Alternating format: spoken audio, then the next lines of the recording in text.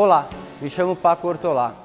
É, sou estudante de gastronomia aqui no Univap e hoje na receita do chefe vou ensinar a fazer arroz negro.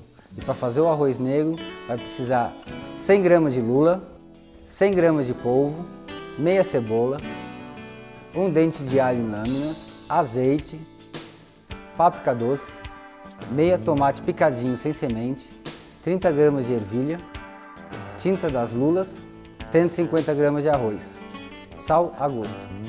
Nessa receita você vai precisar de um caldo que é feito com espinha de peixe e cabeça de camarão.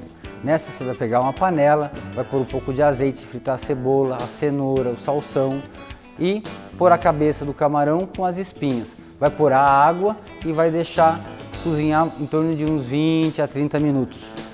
Essa aqui é uma paella, que normalmente a gente faz paella, faz arroz negro, faz fideuá. Então tudo que se faz dentro dessa, dessa panela é paella. Então na paella nós vamos começar colocando o azeite.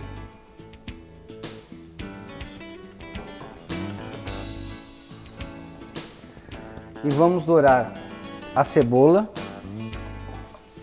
e o alho.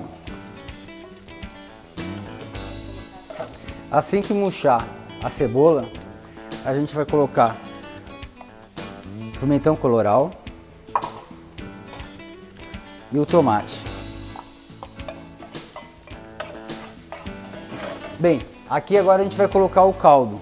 Esse caldo a gente vai peneirar porque vocês sabem que tem que tem as carcaças e a cabeça da, do camarão. Bem, agora é só esperar ferver e a gente vai colocar o arroz e a ervilha e esperar cozinhar o arroz, que demora em torno de 20 minutos. Assim que ferver, coloque a lula, o polvo,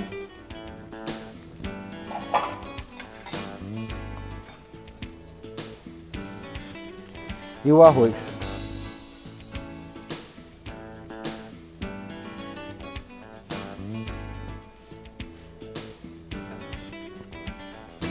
Corrija o sal,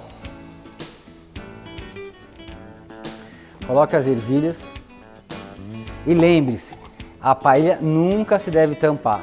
Se cozinha os 10 minutos com fogo forte e depois os outros 10 com fogo baixo.